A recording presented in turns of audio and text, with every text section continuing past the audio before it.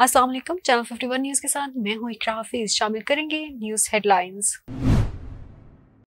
गैर शरी निकाह केस में बानी पीटीआई इमरान खान और उनकी अहलिया बुशा बीबी पर फर्द जुम आयद कर दी गई। सीबीआई सिविल जज कुदरतुल्ला ने अडियाला जेल में समात की। अदालत ने गैर शरी निकाह केस की मजीद समात अठारह जनवरी तक मुलतवी कर दी। गुजशत रोज बानी पीटीआई और बुशा बीबी के खिलाफ गैर शरी निकाह केस में फर्द जुम आयद नहीं हो सकी थी और अदालत ने कार्रवाई मौखर की थी। दौरान समात मुखला सफ़ाई ने अदालत को बुशा बीबी के आइंदा समात पर हाजिर की तहरीरी यकीन दहानी कराई थी। जीएचक्यू हमला केस में सबक डिप्टी स्पीकर पंजाब असम्बली वासी कयूम तहरीक इंसाफ के पंद्रह।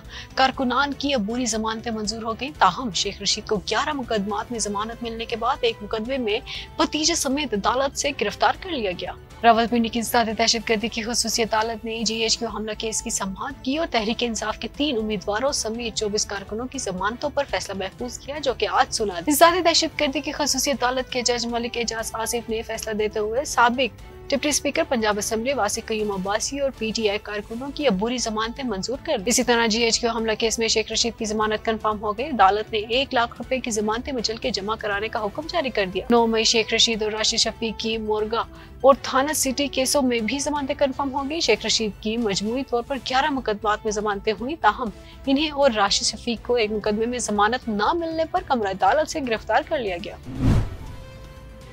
Chairman peoples party Bilawal Bhutto Zardari ने ज़ोर दिया है कि आज उनके मुखालिफ के साथ जो हो रहा है, कल उनके साथ भी यही होगा। बिलावल भुट्टो जरदारी ने लाड़काना के शहर नोडेरो में खिताब करते हुए कहा कि हमने पहले दिन से सिलेक्टेड राज को पूरी दुनिया के सामने बेनकाब किया। नवाज़ शरीफ अमीर मोमिन बनना चाहते थे, हमने इन्हें भी नाकाम बनाया। उन्होंने कहा की मुल्क के खराब हालात का किसी को कोई एहसास और फ़िक्र नहीं है। दहशत गर्द एक बार फिर सर उठा रहे हैं, उन्हें दावत दी गई है की कराची में आकर घर बनाए। बिलावल का कहना था की मुल्क में नफरत और जाती दुश्मनी की सियासत की वजह से जो हो रहा है, वो बहुत गलत हो रहा है।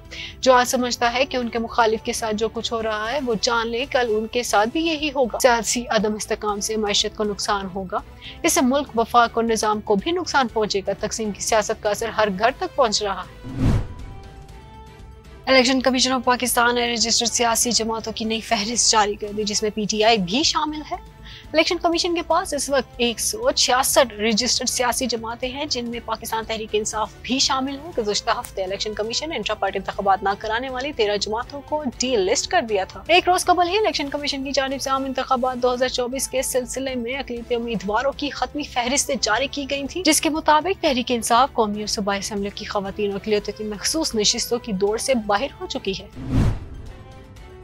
लाहौर हाई कोर्ट ने हल्का एन एक सौ बाईस और एन ए नवासी से बानी पीटीआई इमरान खान के कागजात नामजदगी मस्तरद किए जाने के खिलाफ दरखास्तों पर फैसला महफूज कर लिया। लाहौर हाई कोर्ट के जस्टिस अली बाकिर नजफी की सरबराही में तीन रुकनी बेंच ने केस की समाप्त की पीटीआई वकील ने दलाल दिए कि मौजूदा केस में इलेक्शन लड़ने से का इख्तियार, रिटर्निंग अफसरान के पास नहीं, ये इख्तियार अदालत का है। वकील ने कहा कि इमरान खान की सजा याबी के खिलाफ दरख्वास्त सुप्रीम कोर्ट में जेर अल्तवा है। सुप्रीम कोर्ट ये कह चुकी है कि किसी को नाअहल करने का इख्तियार इलेक्शन कमीशन के पास नहीं। इलेक्शन कमीशन का ऑर्डर ठीक नहीं है। वकील ने अपने दलाल में मजीद कहा कि एन एक सौ बाईस लाहौर में तजवीज कुनदा का हल्के से न होने का भी एतराज़ लगाया गया। हल्का बंदियों की जो आखिरी लिस्ट आई, उसमें तजवीज कुनदा उसी हल्के में था। बाद में लाहौर हाई कोर्ट के एक हुक्म पर हल्का बंदी तब्दील हुई।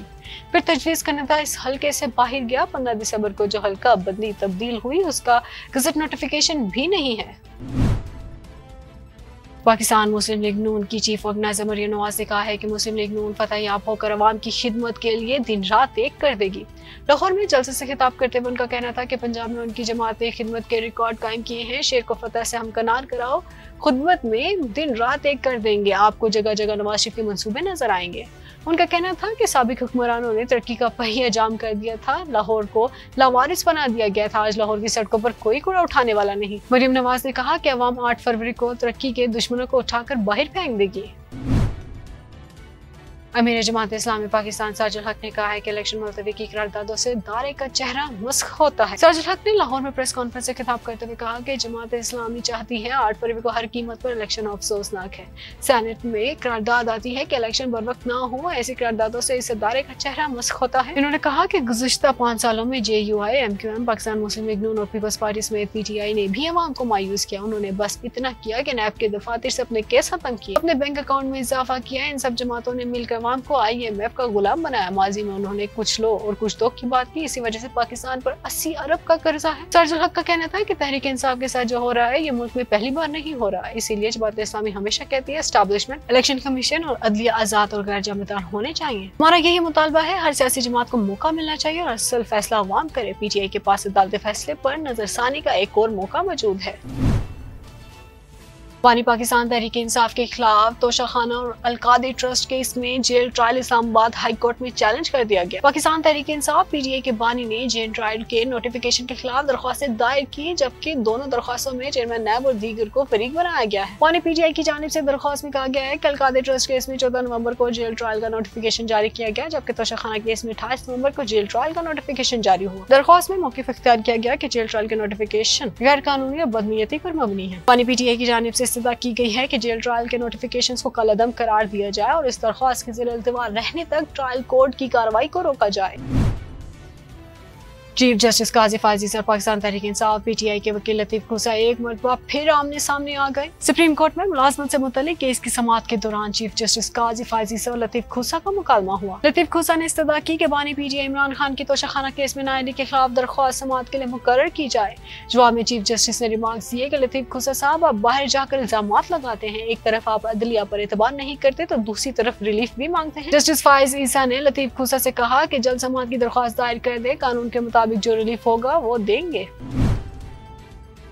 आलमी और मकामी सराफा मार्केट में सोने की कीमतों में दोबारा नुमाया कमी हुई है। ज्वेलर्स के मुताबिक मकामी मार्केट में आज सोने की कीमत में छह सौ रूपए की कमी हुई है। छह सौ रूपए की कमी से चौबीस कैरेट फ़ी तोला सोना दो लाख सत्रह हज़ार तीन सौ रूपए पर आ गया। दूसरी जानब, दस ग्राम सोने की कीमत पाँच सौ चौदह रूपए की कमी से एक लाख छियासी हज़ार तीन सौ रूपए हो गई आलमी मार्केट में भी सोने की कीमत में बड़ी कमी हुई है। आलमी मार्केट में आठ डॉलर की कमी से फ़ी ऑन सोना दो हज़ार सड़सठ डॉलर पर आ गया।